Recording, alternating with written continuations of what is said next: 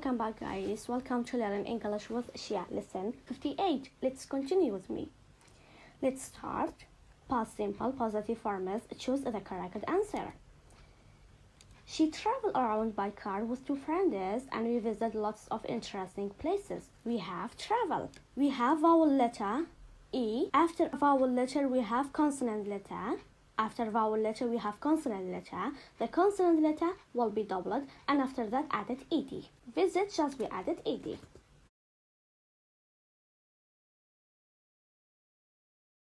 She traveled around by car with two friends, and we visited lots of interesting places. The swap thing is, We have vowel letter A. After vowel letter, consonant letter. The consonant letter will be doubled, and also that added ed. Swap it they swapped things. We have a vowel, so we need to use to the double letter. After vowel letter, after that we added ed. The boys try basketball. You change to I and also that added ed. Tried. The boys tried basketball.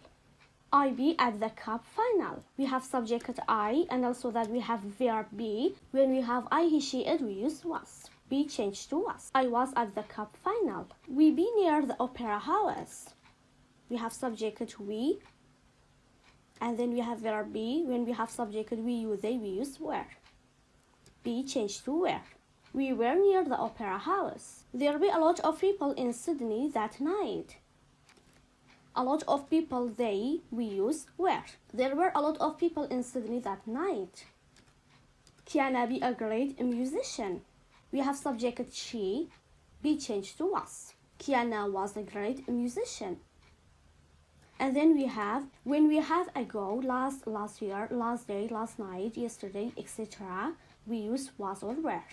Remember, when we have subjected I, he, she, it, we use was, but when we have subjected we, you, they, we use were. In this lesson, we use was or were. Kiana in Paris last week. Kiana was. Kiana was in Paris last week. He in bed four hours ago. He was. She at home yesterday morning. She was. I in this class last month. I was in this class last month. They in this class three months ago. They were. She in China four years ago. She was. She was in China four years ago. We in Paris in 2002. We were. We were in Paris in 2002. You in London three days ago. You were.